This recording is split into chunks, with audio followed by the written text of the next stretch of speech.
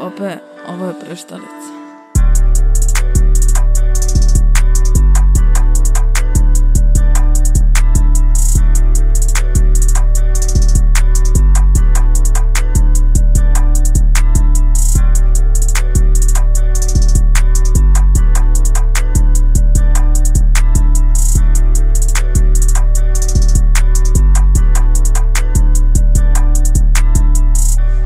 Ope, over op Eurstallis.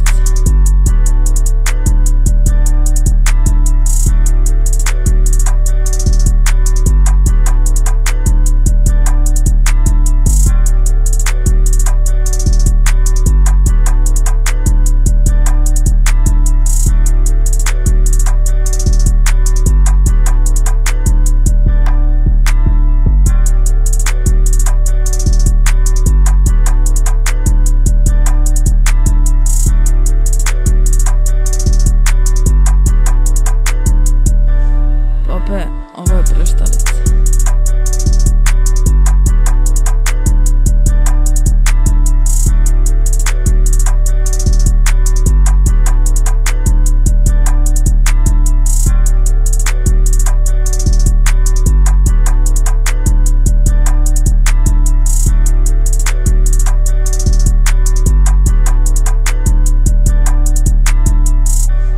Obe, ovo je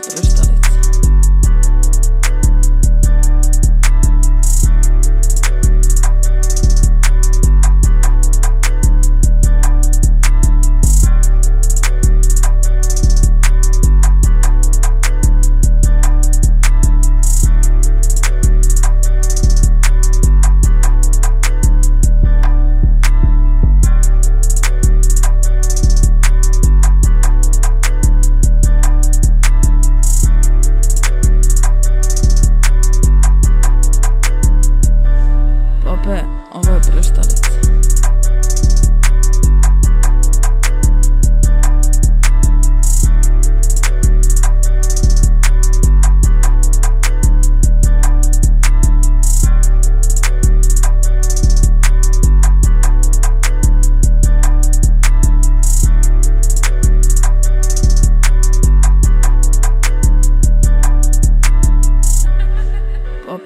og voru að hlusta þitt